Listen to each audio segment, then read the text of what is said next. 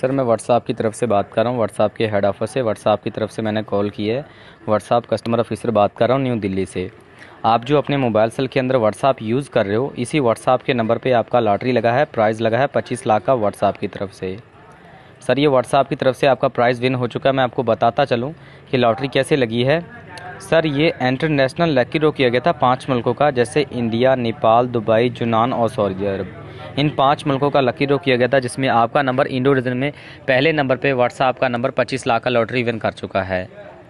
ये 25 लाख का लॉटरी हासिल करने के लिए ये जो आपको, ये आपका लॉटरी है, ये पहुँच गया मुंबई के अंदर। Mumbai State Bank of India में वो ये जो मैंने आपको चेक लेटर सेंड किया है, इसके ऊपर आप देख लें, ये बैंक मैनेजर का नंबर है, जो आपसे मुंबई से बात करेंगे, भारतीय स्टेट बैंक ऑफ़ इंडिया से, जिन्होंने आपका पच्चीस लाख का लॉटरी आपको रिसीव करवाना है और बताना है कि लॉटरी किस तरीके से मिलेगी और कैसे मिलेगी।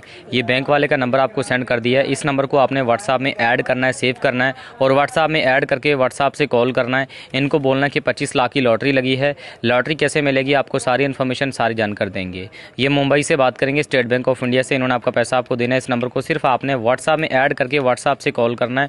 डायरेक्ट कॉल नहीं कर पाएँगे क्योंकि लॉटरी व्हाट्सएप पे लगी तो व्हाट्सएप से कॉल करनी है आपने। व्हाट्सएप में ऐड करके व्हाट्सएप से कॉल करें। अगर आपसे ये लॉटरी नंबर पूछे तो ये ऊपर लॉटरी नंबर लिखा हुआ है। ये लॉटरी नंबर आपने इनको बता देना है। तो अभी आप जल्दी से व्हाट्सएप में ऐड करके कॉल कर लें। बैंक वाले आपका वेट कर रहे हैं। Thank you